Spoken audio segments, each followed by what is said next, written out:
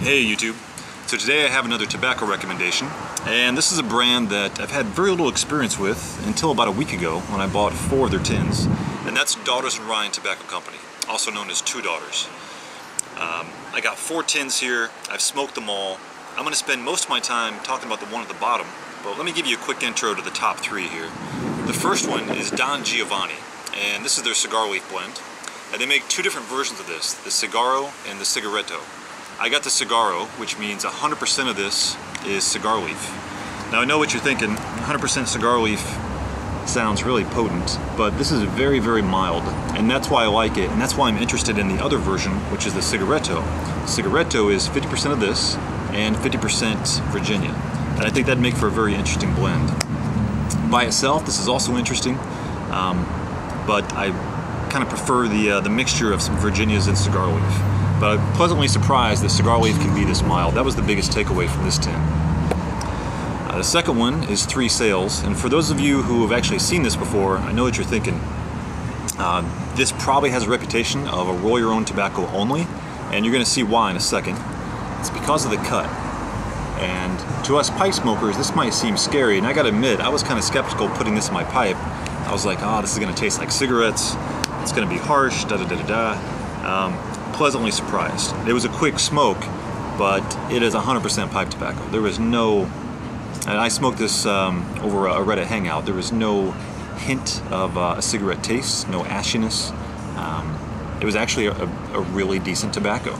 So definitely recommend Three Sails, uh, especially if, um, especially for guys on the go that only have time for a 10-15 minute smoke and want something that you never have to relight. That's probably the, the best thing about this good taste, solid taste, no ashiness, and it lights up like a scarecrow.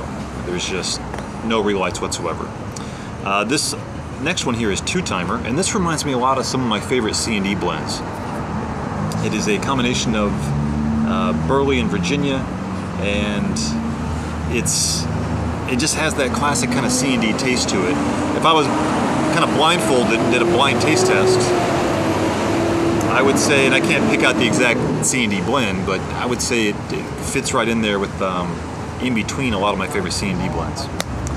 Would definitely recommend two timer. And the last one is really the focus of this video. And I'm adjusting my chair because I'm trying to think of the words to describe this. Um, the last one is London Dock. Now, these are all about somewhere in the mid $5 range. So they are cheaper than uh, C&D, definitely cheaper than McClelland. However, these are 40 gram tins, not 50 gram tins. So instead of 1.76 ounces or instead of 2 ounces like you get with a C&D tin, these are uh, about uh, 1.4 something ounces. Long story short, when you do the dollars per ounce calculation, uh, these come out to be about 50 cents to 75 cents cheaper per ounce uh, than the C&D small tins. Just a little point of fact.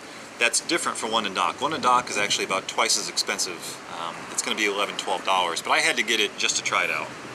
Um, because when I read the description, it just, it seemed wild, and when I smoked it, it tasted wild. So, a little bit of background on London Dock. London Dock was a blend uh, made by Middleton, I believe, a long time ago, and it was made for a long time, but it hasn't been around forever. So I talked to Mark Ryan about all these blends, I got a little more story on, on this one. And uh, several years ago, he was approached by uh, a Chinese businessman that gave him the recommendation or, the, or, made a request to see if he could replicate that old formula. So what Mark Ryan did, he went and looked to, to see if the trademark was available on London Dock, and it was, so he bought it.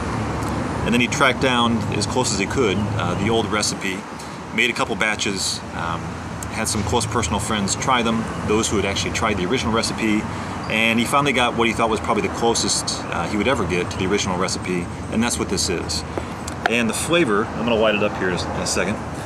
The flavor, I wish I could compare it to something that we've all smoked, but um, I can only compare it to, in strength, I can only compare it to, uh, to two blends that some of you have smoked, and that would be the the, heavy casing that you get on a GLP's Cairo. Um, that mixture of pomegranate and citrus uh, flavor there, which is really pungent, really strong. I'd say that would be close to the strength of this, but not quite. And the other example would be Oak Alley, um, also made by Cornell and Diehl. Uh, that is really, really strong, really heavily cased. That kind of comes close, but this is darker than either of those two. And it, it's also just a very different blend.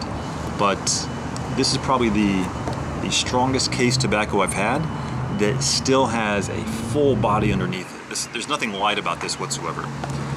It's a mixture of uh, the flavors I get are like dark raisin, plum. Obviously, there's a lot of rum in here. And what Mark told me is the the the flavoring that really makes it stand out, that makes it unique. It's not deer tongue, but it's a flavoring that was supposed to replicate or come close to what deer tongue naturally tastes like.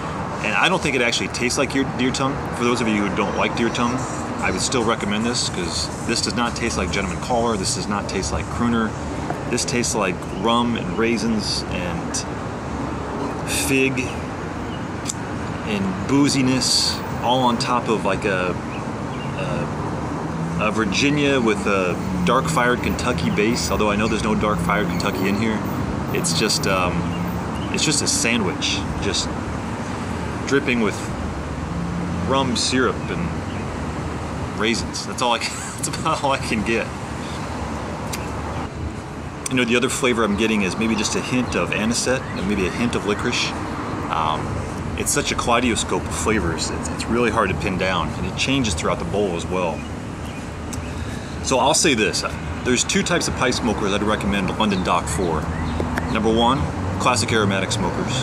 That's a no-brainer. But number two, and I think this is more important, guys who consider themselves, much like myself, non-aromatic smokers but once in a great while, maybe once or twice a year, we'll find one or two blends that we'll make an exception for and they you kind of have a soft spot for because they're aromatic but with a really, really deep base, a really strong tobacco base. Um, if you're one of those guys like me, I would also recommend this. And if you got a friend who has some, even if you don't think you're gonna like it, you gotta try it. It's, it's one of the few blends I could say that I think everyone should try. Take one puff of just to say you had it, uh, just to get the experience. It's that unique.